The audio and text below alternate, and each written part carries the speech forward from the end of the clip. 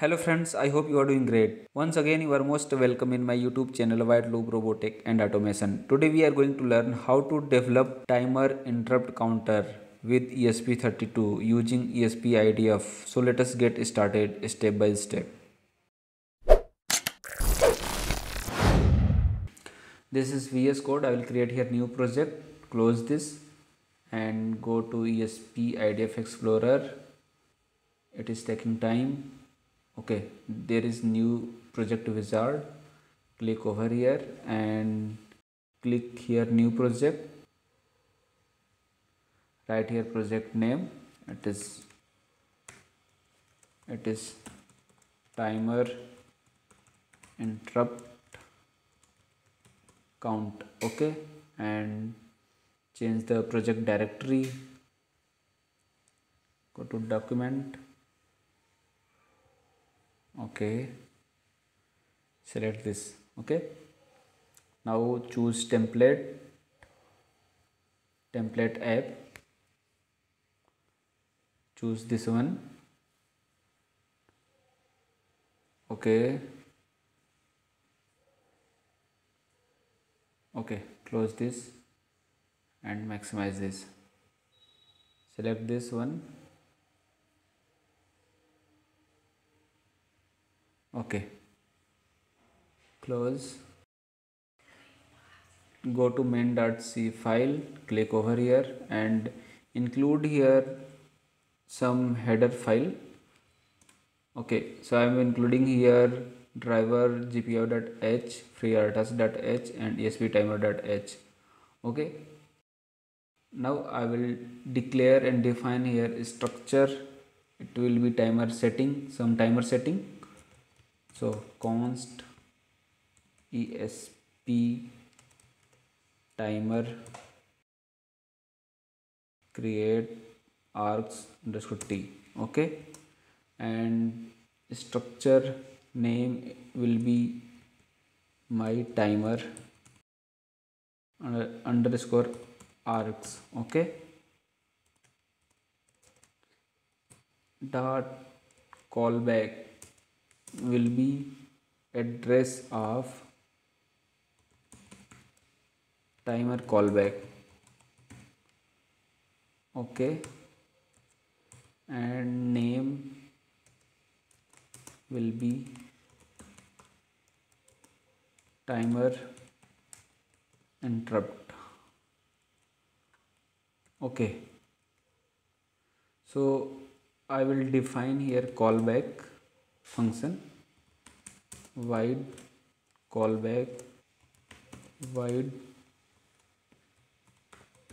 param okay when timer interrupt will occur then count variable will be increase okay I will declare here count variable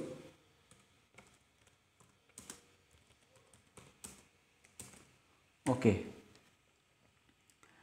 And now I will declare here timer handler esp time handle. Okay? Timer handler. Okay. Now I will create here timer.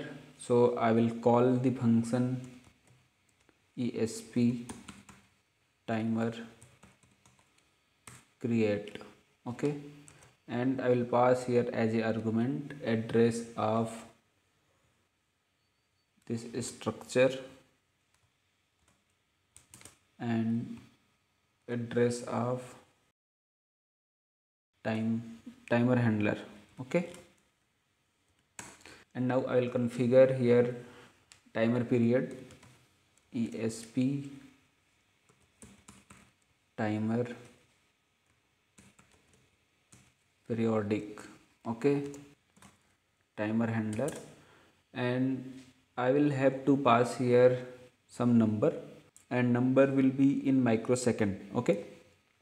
If you want to uh, what timer period you have to put here. So we are going to set 10 millisecond timer. So in 10 millisecond there will be 10,000 microsecond okay for the one second it will be 10 lakh microsecond. Okay. And now I will create here while loop. It will be true. And I will print here count value. Okay and I will use here delay. V task delay. It will be 10 millisecond. For tick period ms okay. Now code is ready. Uh, I will just clear the project and build okay. Building is started.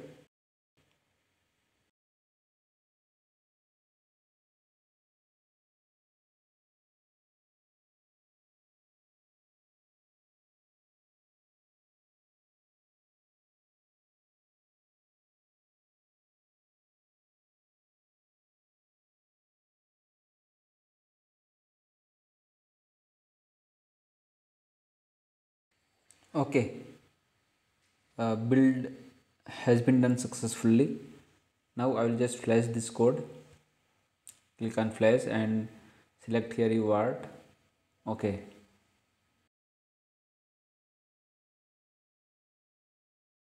Open this uh, monitor.